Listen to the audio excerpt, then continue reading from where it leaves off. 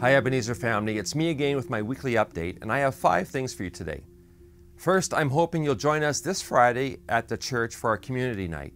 This is a night to connect or reconnect with others from the Ebenezer family for a night of fun, food, games, and conversation.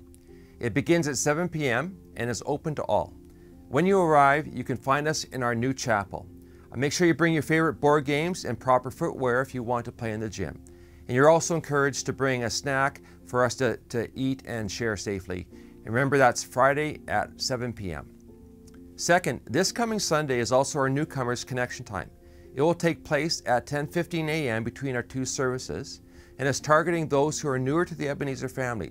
So if you are new or know someone who is new, come and join us for that event. Third, our Break Free seminar is only two weeks away, and you can register this Sunday in person or online anytime. Now, there is a small cost uh, for this event of $25 per person to help cover the expensive meals and printed resources. However, the value of this seminar far exceeds anything that we're charging. And if cost is going to be, pro uh, be prohibitive for you, would you please contact the church office and we'll find a way for you to come. Fourth, uh, we will be offering our Because We Care workshop on Friday, February 4th from 7 p.m. to 8.30 p.m. or on Saturday, February 5th from 10.30 a.m. to noon. Both those uh, seminars are exactly the same, you just have to come to one of those. And we require all those who serve in our children's ministries and youth ministries to take in this workshop.